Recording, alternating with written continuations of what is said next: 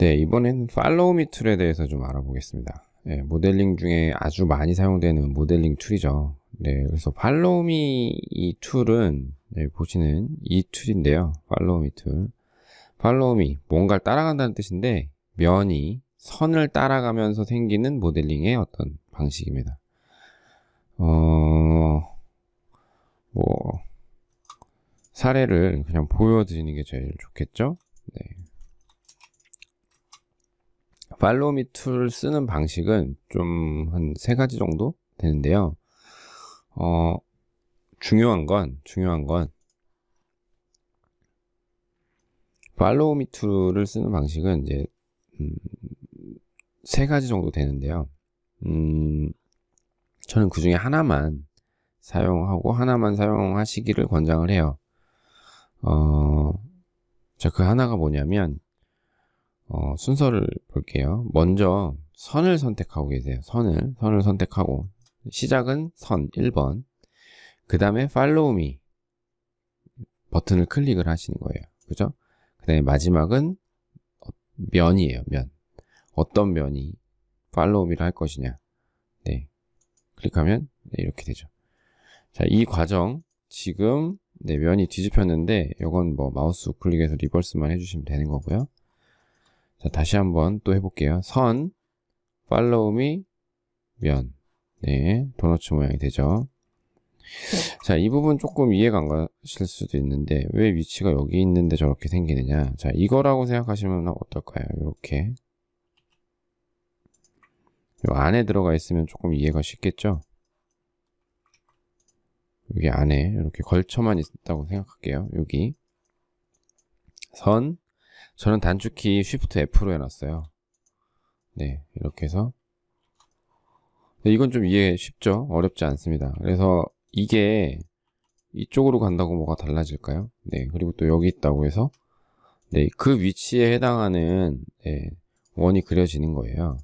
이게 조금 헷갈린다 그러면 네, 혹시나 해서 제가 다들 이해하시겠지만 이렇게 되는 큰 이 네모가 하나가 있는데 이 중에 이런 모양, 뭐 여기에 이런 모양, 여기에 이런 모양 이렇게 있다 그러면 네, 이거를 지웠을 때랑 네, 이거 있는 상태랑 네, 이걸 잘 이해해 주시면 돼요. 아까 그러니까 이 선이 아니 이 면이 이 면이 얘를 따라간다고 보시면 돼요. 그러면 이 면이 얘를 이렇게 따라가면서 생길 수 있는 어, 생길 수 있는 형태 예, 거기에 얘는 뭐 이게 얘를 뭐 오려냈다고 생각해 보면 되겠죠.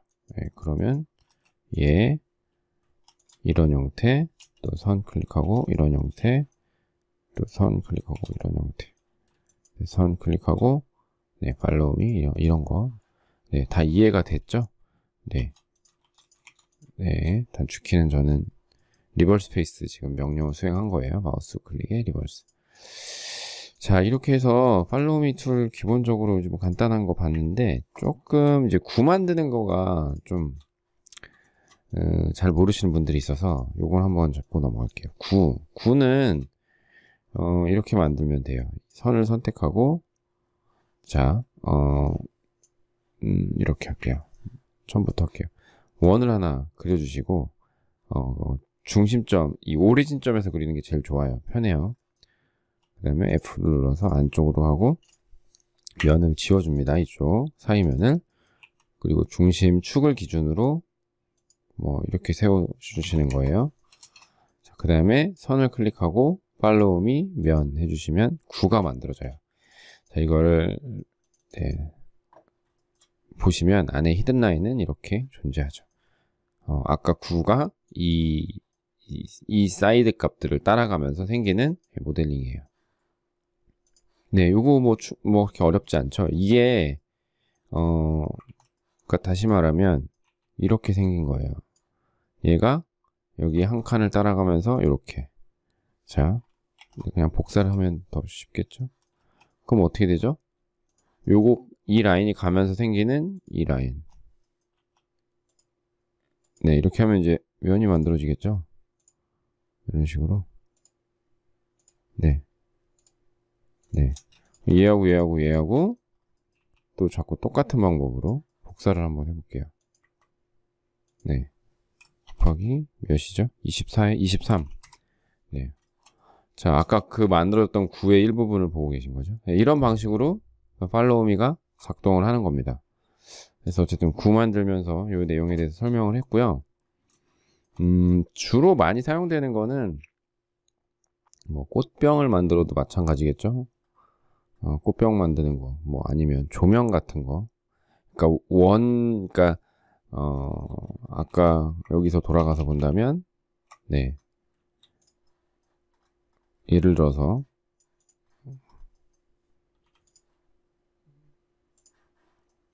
네. 파랄 프로젝션, 네.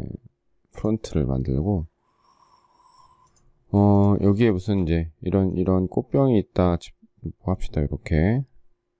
네. 이게 이제 면이어야 되니까 네, 면으로 만들겠습니다. Shift 눌러서 하고 네 이렇게 됐죠? 이거 지워주고 이거 지워주고 면, 어, 선 선택하고 뭐였죠? 선을 좀 바깥으로 뺄게요. 이게 좀 더 나을 것 같아요. 자, 선 선택하고 Follow Me 면 하면은 자, 얘 때문에 안 됐네요. 얘를 지워줘야겠어요. 네, 이렇게 지울게요.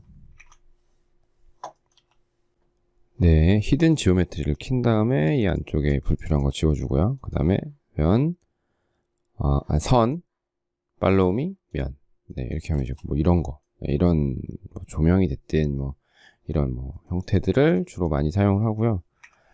어, 또 이런 거 많이 하죠. 활, 이런, 이런 그 몰딩 같은 거 있잖아요. 액자의 몰딩이라던가 아니면 그 뭐 아파트의 몰딩, 뭐 아파트가 아니고 뭐 집에 천장 부분 뭐 이런 벽체 몰딩.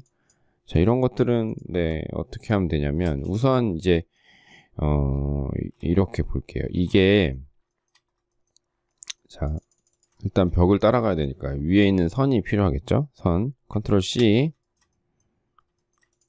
그 다음에 제가 얘를 네, 음,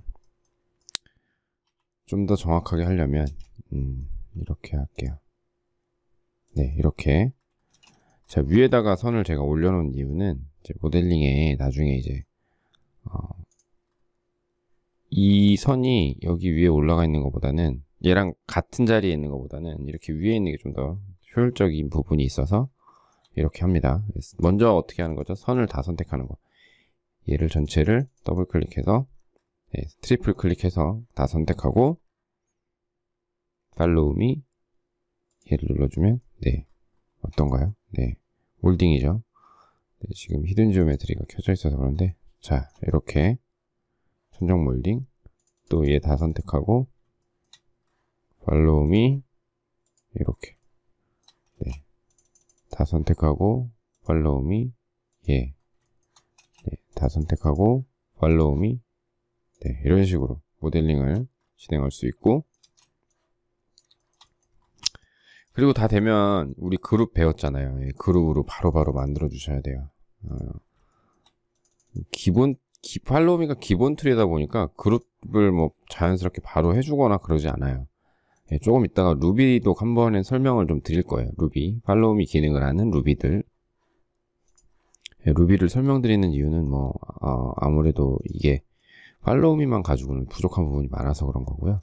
자, 얘를 이렇게 해서 네, 면을 빼고 선만 선택하고 네, 팔로우미 예, 됐죠? 이렇게 하면 이제 액자 네, 만들어지는 거죠.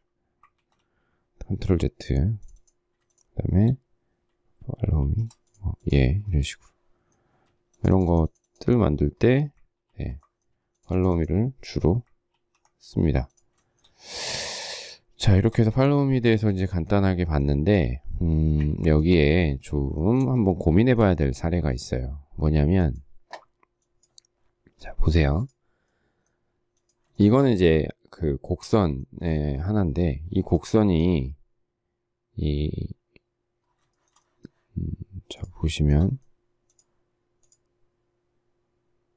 자.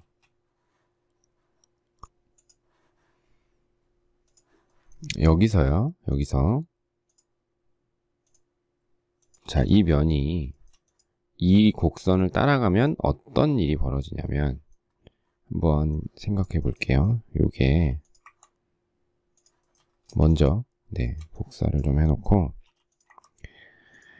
어, 이, 면, 이 면이 얘를 따라간다. 자, 어떻게 될까요? 음, 선 선택하고 네, 팔로우미 면하면 이렇게 되죠. 요거 충분히 이해되셨을 텐데 한 가지 공, 이게 좀 음, 생각하고 좀 다른 부분이 있어요. 자, 여기가 이상하죠? 어? 이상하죠? 왜 여기 각도가 벌어졌을까요? 그죠? 다 선택해보면 이해하고 네, hidden geometry 켜볼게요. 자, 이해하고 이해하고 얘는 지금 같아요. 계속 모양이 같습니다. 모양이 같게 가는데 얘는 달라요. 왜 여기서 얘는 여기까지 채워지지 않고 여기서부터 시작을 했을까요? 네. 그 원인보다도 중요한 건 어쨌든 얘가 이렇다는 거예요. 네, 그래서 그걸 이해하기보다는 음, 이 기능을 만든 사람이 좀 더 섬세하지 않았다거나 아니면은 이 부분에 대해서는 어쨌든 네. 지금 보시면 여기 보면 얘가 수직이 되는 그러니까 이 라인에 이 라인 이 세그먼트의 각도에 수직이 되는 데에다가 이 삼각형을 갖다 놓고 거기서부터 시작을 하고 그 다음부터는 얘하고 이, 이 각도와 이 각도의 중간을 잇는 점에서 면이 예, 포인트가 돼서 거기서부터 쭉쭉쭉 가는 거예요. 그러니까 이 각도 얘하고의 중간 값 각도. 그러니까 얘는 수직이었잖아요. 그죠? 얘는 수직이었는데 이 값이 아니고 얘는 수직이었는데 얘는 얘하고 얘를 가운데를 가로지르는 부분에 이게 면이 올라갔다는 뜻이에요. 그러니까 처음 시작은 수직에서 시작하지만 네, 여기서 이 중간중간 포인트들은 이렇게 된다는 거예요. 그래서 어, 이 부분을 이 부분을 해결하는 방법은 이제 이런 거예요. 이거 내가 원하는 대로 하려면 첫 번째는 조건을 어, 원을 만들어서 원을 만들어서 Follow Me를 실행해주고 내가 필요한 부분만 당기고 자 지금 커브가 곡선이 돼서 그런데 explode curve를 해주고 자 이렇게 해서 지워주고 네 뭐 여기 이제 채워주겠죠? 좀 복잡하지만 네 뭐 이해되는 부분이죠? 네, 이렇게 진행을 하시면 돼요. 됐나요? 예 요거. 네 이렇게 진행을 하시거나 아니면은 조금 뭐 같은 방법이긴 한데 네, 이런 방법도 있습니다 라인을 조금 길게 하나를 그려주고요 얘가 이제 수직이 되는 거죠 아이고 네, 이렇게 되면 면을 또 여기다가 넣는 거야. 자, 이렇게 하면 얘 전체 선택하고 네, 팔로우미 얘를 눌러주면 또 이렇게 되겠죠. 네, 마찬가지 얘를 네, 여기를 지워주고 만들어 주시면 돼요. 그러면 이제 원하는 어, 팔로우미를 하실 수가 있어요. 이런 부분에서. 네. 조금 어렵죠. 네, 어렵지만 아마 이제 이제 기초 부분에서는 사실 크게 부딪힐 일은 없는데 조금만 지나면 자 이제 내가 원하는 모델링을 할 거야 라고 마음 먹는 순간 이 팔로우미에서 제일 의문이 되는 게 지금 좀 전에 보셨던 거예요 어, 왜 저게 저렇게 안 되지? 그 다음에 또 하나가 바로 이겁니다. 뭐냐면 자 이게 슬루프예요. 그러니까 여기서 쭉 해서 내려가서 여기랑 합쳐진다고 봅시다.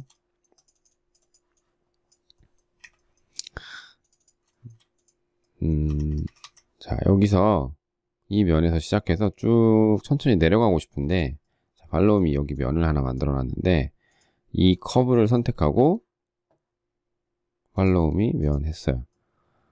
이상하죠? 첫 번째, 아까 여기 이렇게 떨어져가지고 각도가 이렇게 되는 부분은 좀 전에 1번 설명했던 거. 자, 그런데 두 번째 문제가 뭐냐면 얘가 이렇게 내려가서 이 라인이 사실은 여기에 만나야 되는데 이게 이렇게 안 만나고 어떻게 돼요? 그냥 쳐져서 내려가 버렸죠. 이런 부분.